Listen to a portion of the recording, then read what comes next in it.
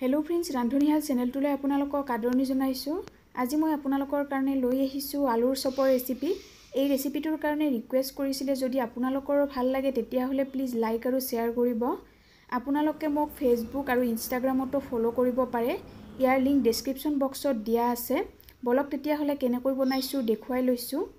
ইয়াৰ কাৰণে তিনিটা আলু সিজাই লৈছোঁ বাকলিৰ সৈতে। বাকলিখিনি গুচাই এতিয়া ভালদৰে পিটিকি ল'ম।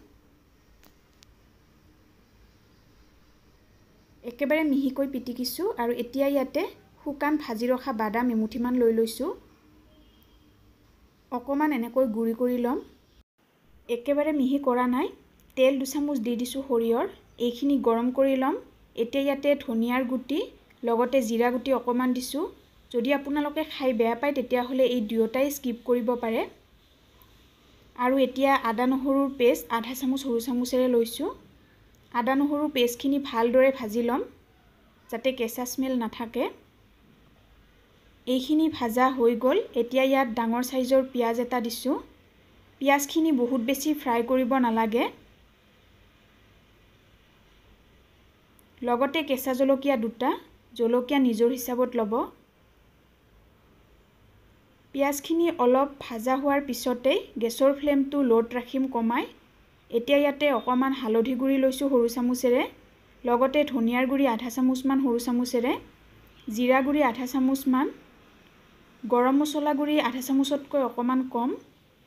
আৰু কাশ্মীৰী ৰেড চিলি পাউডাৰ আধা চামুচ সৰু চামুচেৰে। এইটোৰ জ্বলা নাথাকে। জ্বলা বেছিকৈ খালে ৰেড চিলি পাউডাৰো ল'ব পাৰে। সোৱাদ অনুসৰি নিমখ ল'ম। নিমখ অলপ কমকৈ ল'ম কাৰণ চাট মছলা ব্যৱহাৰ কৰিম। মিহলি কৰি ল'ম এবাৰ। আৰু ইয়াতে বাদামখিনি দি দিছোঁ। পুনৰ মিহলি কৰি ল'ম। মছলাখিনি যাতে জ্বলি নাযায় ধ্যান ৰাখিব। এতিয়া আলুখিনি দি দিম।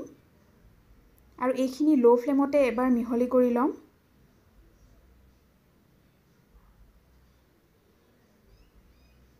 লগতে চাট মছলা আধা চামুচমান লৈছোঁ। মছলাখিনি যাতে ভালদৰে মিহলি হৈ পৰে এক মিনিটমানৰ কাৰণে ভাজি ল'ম। যেতিয়া গোটেইখিনি শুকান হৈ ভালদৰে মিহলি হৈ পৰে গেছৰ ফ্লেমটো অফ কৰি ল'ম আৰু ইয়াতকৈ ভাজিব নালাগে। লগতে ধনিয়াৰ পাত থাকিলে অকণমান ল'ব পাৰে। তেতিয়া টেষ্টটো আৰু অলপ বেছি হয়। মিহলি কৰি ল'ব। ঠাণ্ডা হ'বৰ কাৰণে প্লেট এখনত উলিয়াই ছাইডত ৰাখি দিম। অলপ বহলাই ল'ব তেতিয়া সোনকালে ঠাণ্ডা হ'ব। এটা ডাঙৰ বাতিত বেচন একাপ লৈছোঁ সৰু কাপেৰে। লগতে আজৱাইন জনি গুটি বুলিও কোৱা হয় ইয়াক। আধা চামুচ সৰু চামুচেৰে এনেকৈ মোহাৰি দি দিম। হালধি গুড়ি অকণমান। আৰু বেকিং ছ'ডাও লৈছোঁ একেবাৰে অকণমান ল'ব বেছিকৈ নল'ব। নিমখ সোৱাদ অনুসৰি গোটেইখিনি এবাৰ মিহলি কৰি ল'ম। এতিয়া ইয়াতে অলপ অলপকৈ পানী লৈ এইটো এটা স্মুথ বেটাৰ বনাই ল'ম। বহুত বেছি পাতল নকৰিব। পানী অলপ অলপকৈ ল'ব আৰু মই ইয়াতে নৰ্মেল পানীয়ে ব্যৱহাৰ কৰিছোঁ। গোটা গোটা যাতে অলপো নাথাকে। মিশ্ৰণখিনি তেল পিঠাৰ বেটাৰৰ দৰে বনাই ল'ব অলপ ডাঠকৈ। বেঙেনাৰ বৰা বনালে যেনেকৈ বনায় সেনেকুৱা ডাঠকৈ বনাব। দেখুৱাইছোঁ কিমানখিনি ডাঠ কৰিছোঁ। পাঁচৰ পৰা দহ মিনিটৰ কাৰণে ৰাখি দিম এনেকৈয়ে। কেৰাহী এটাত ৰিফাইন তেল লৈ লৈছোঁ তেল অলপ বেছিকৈ লৈ ল'ম আৰু এইখিনি গৰম হ'বলৈ ৰাখি দিম। ইপিনে আলুখিনি ঠাণ্ডা হৈ গৈছে।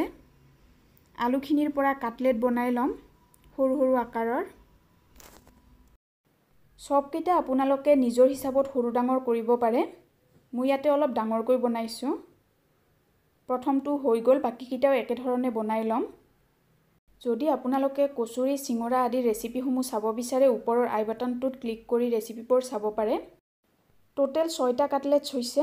বেচনৰ মিশ্ৰণখিনি এবাৰ মিহলি কৰি চাই ল'ব যদি ডাঠ হোৱা যেন পায় পানী ল'ব পাৰে বা পাতল হ'লে বেচন অলপ লৈ ল'ব পাৰে। তেল গৰম হৈ গৈছে। তেলখিনি বহুত বেছি গৰম হ'ব নালাগিব আৰু বহুত বেছি ঠাণ্ডাও হ'ব নালাগিব। কাটলেট এটা লৈ লৈছোঁ আৰু বেচনৰ মিশ্ৰণখিনিত ভালদৰে ডুবাই দিব চাৰিওফালৰ পৰা যাতে ভালদৰে লাগি ধৰে। এতিয়া কেৰাহীৰ ওপৰত লৈ লগে লগে পেলাই দিব। হাতেৰেও ল'ব পাৰে আৰু আপোনালোকে যদি এনেকৈ বেয়া পায় তেতিয়াহ'লে কাটা চামুচৰ সহায়তো ল'ব পাৰে সুবিধা অনুসৰি। আৰু এটাৰ গাত যাতে আনটো নালাগে তেনেকৈ দিব। এবাৰত তিনিটাকৈ ভাজি ল'ম কাৰণ বেছি হ'লে অসুবিধা হয়। অলপ সময় এটা ছাইড ভাজিবৰ কাৰণে ৰাখি দিম। অলপ সময় ফ্ৰাই হোৱাৰ পিছত ওলোটাই ল'ম কাৰণ লগে লগে যদি ওলোটাই লোৱা হয় তেতিয়াহ'লে ফাটি যায়। আৰু এইখিনি ৰঙচুৱা হোৱালৈকে ভাজি ল'ম দুয়োটা ছাইডৰ পৰাই অলপ ক্ৰিস্পি হোৱালৈকে। মাজে মাজে ওলোটাই থাকিব আৰু গেছৰ ফ্লেমটো ইয়াতে মই মিডিয়ামতেই ৰাখিছোঁ। যেতিয়া চপকেইটা অলপ অলপ ৰঙচুৱা হৈ পৰে তেতিয়া ইয়াতে কেঁচা জলকীয়া চাৰিটা অলপ অলপ কাটি লৈ ল'ম। এইকেইটাও ভাজি ল'ম। জলকীয়াকেইটা ফ্ৰাই হৈ গৈছে। লগতে কাটলেটকেইটাও এবাৰ ওলোটাই লৈছোঁ। গোটেইখিনিয়ে ভাজা হৈ গ'ল। ৰঙচুৱাও হৈ পৰিছে গতিকে উলিয়াই ল'ম।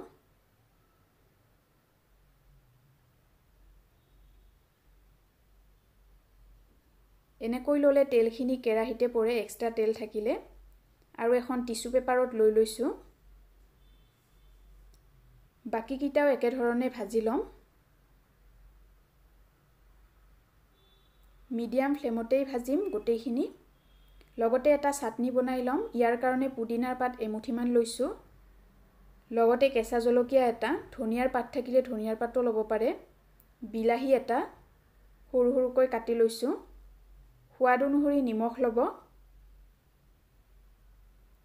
নেমুৰ ৰস থাকিলে নেমুৰ ৰস নহ'লে তেতেলী অকণমান লৈ ল'ব। আৰু এইখিনি স্মুথ হোৱালৈকে গ্ৰাইণ্ড কৰিম। এয়া চাটনিটো ৰেডি হৈ গ'ল। আৰু ইপিনে কাটলেটকেইটাও ভাজা হৈ গৈছে। ভাজি ৰখা জলকীয়াকেইটাৰ লগত অকণমান নিমখ আৰু নেমুৰ ৰস লৈ ল'ম তেতিয়া খাবলৈ আৰু টেষ্টি হয়। মিহলি কৰি ল'ব গোটেইখিনি। বাকীকেইটাও চব ৰেডি হৈ গ'ল। এইটো গৰম গৰম আপোনালোকে চাটনি বা চচ নাইবা চাহৰ সৈতে পৰিৱেশন কৰিব পাৰে। একেবাৰে দোকানৰ পৰা কিনি অনা চপকেইটাৰ দৰে হয় এবাৰ বনাই চাবচোন আপোনালোকেও। এইটো বাহিৰৰ পৰা বহুত বেছি ক্ৰিস্পি হৈছে আৰু ভিতৰতো বহুত স্মুথ হৈছে। এটা ভাঙি দেখুৱাইছোঁ। এয়া চাওক ক্ৰিস্পি হৈছে। যদি ৰেচিপিটো ভাল পাইছে প্লিজ লাইক কৰিব শ্বেয়াৰ কৰিব আৰু মোৰ চেনেলটো যদি এতিয়ালৈকে ছাবস্ক্ৰাইব কৰা নাই প্লিজ ছাবস্ক্ৰাইব কৰিব। ভিডিঅ'টো শেষলৈকে চোৱাৰ বাবে আপোনালোকক বহুত বহুত ধন্যবাদ।